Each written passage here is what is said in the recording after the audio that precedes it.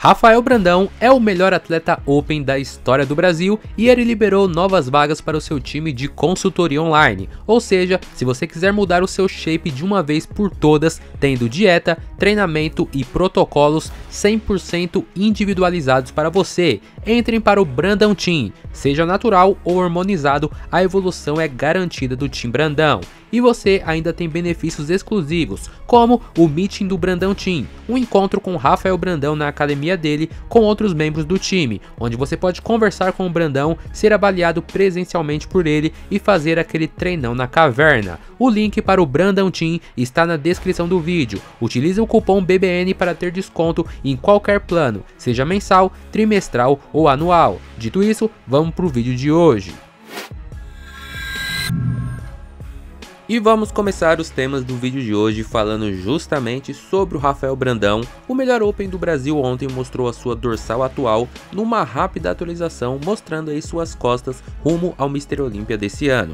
E chama atenção o quanto o Brandão evoluiu ano passado e tá evoluindo esse ano sob os comandos do coach Neil Rio e nessa temporada com o Pinduca e agora também com o Jorlan, né?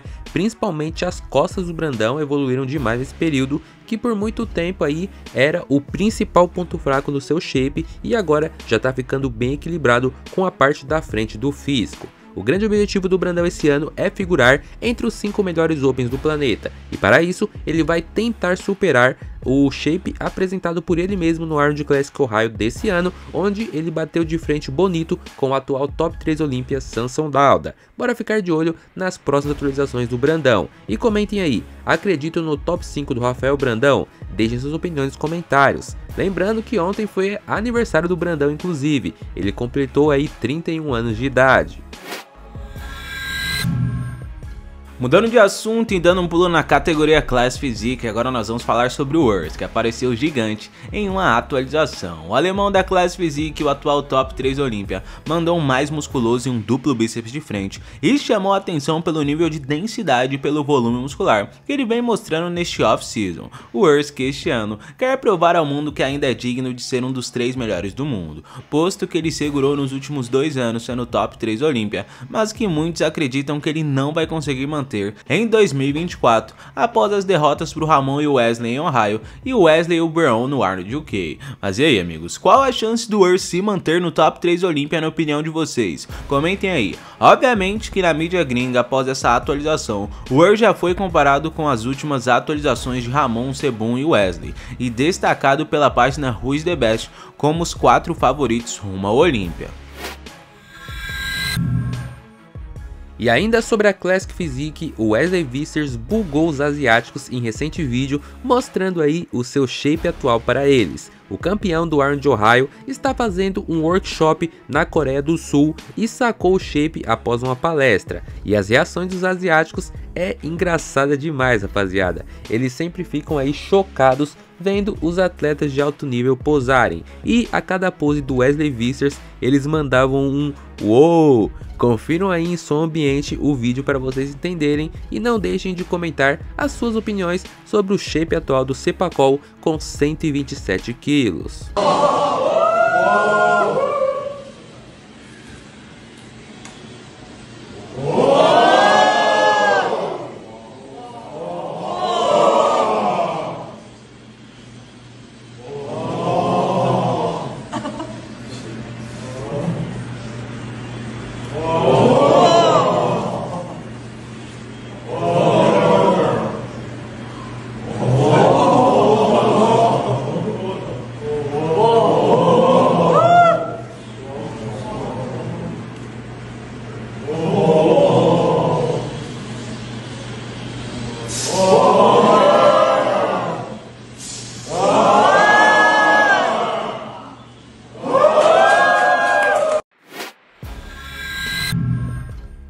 Amigos, e bora terminar os temas do vídeo de hoje falando sobre o Fabrício Pacholok, que em recente podcast falou sobre como era a relação do Zancanelli e William Martins quando eles treinaram juntos, sob os comandos do Pacho, na época que os três eram da Integral Médica e moravam em Curitiba. Daí, tipo, o Zanca em preparação, o William em preparação, essa é preparação pra Bahamas.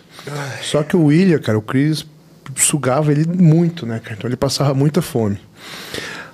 E daí, tipo assim, o, o, o, Chris- o William tava com 200 gramas de batata pré-treino, era o único carbo do dia. Tipo, o treino era às quatro. O William comia às três, às quatro ele tinha que estar treinando, porque não durava muito tempo aquele carbo ali. Aí o Zanca atrasava. Cara, às vezes o Zanca atrasava mais de uma hora. Nossa, o Zanca Paurário. Coitado Continua ainda ou não? Melhorou? Não, ele melhorou bastante. É, tá bom. Não, de uma melhorou. hora, agora Não. ele diminuiu meia. O Zanca Meia, Paurário, meia, meia, velho. Aí o William ferrado, o William já puto, daí chegava pra treinar. E o William, assim, tipo, era perna, ele sempre tava descalço. Aí o William chegava, colocava o tênis do lado da mala. Cara, a hora que ele piscava, o tênis já tinha sumido. O Zanca escondia em algum lugar. E daí ele, tipo, o William não enxerga direito sem óculos, né? Ele trava sem óculos, aí ele, ele não conseguia achar o tênis. Aí, tipo, e o tênis assim tava, tipo, ele colocava tipo em cima do, do cross, por exemplo. Você virava assim na academia, você já via um tênis em cima do cross e ele não achava. Aí, ah, vou treinar, depois eu procuro. Daí o, Zanca sempre falava que ah, no final do treino eu te falo onde que tá. E daí você acha. Só que daí o Zanca acabava indo embora e ficava o William procurando tênis. Aí beleza, já tinha esse estresse no começo. Aí a gente tava treinando. E daí o William tava com os joelhos zoados. E daí tava fazendo uma extensão uni- unilateral pro joelho dele. Só que como tava, não podia pôr carga, eu tava fazendo um super slow ali pra dar algum estímulo. Aí o William fazendo, cara, aquela tipo últimas repetições ali, ele com o olho fechado assim, empurrando devagar, devagar. O Zanca falou: "Deixa que eu ajudo".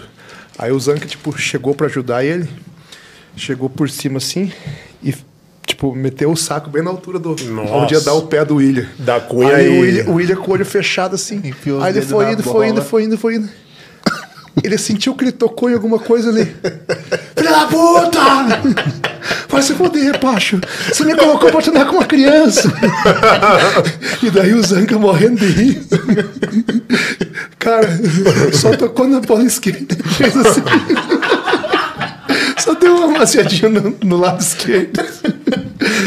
E o William puto. E eu dando risada. Ah, Pacho, vocês ficam me zoando até você, cara. Eu não vou mais treinar. O bom é, se ele tivesse de olho aberto, ele pelo menos ia fazer mais força pra tentar chupar o uma saco. pica, né? Não, só deu uma esbarradinha, cara. Não, sério, aquele cara de 130 e poucos quilos sofria bullying. Sofria bullying. Muito pro bullying. Zanca. Era, cara, era muito E massa. não a época sofria pouco, não. Tem dois. umas histórias que não dá pra contar, que é muito pesada, mas sofria bullying pra caramba. Mais que a velho. minha? É, não, é. Certeza que amanhã. Carlão faz chacota com. Não, tem coisas piores. Como que é, Carlão? Ó, tem uma coqueteleira ali, ó.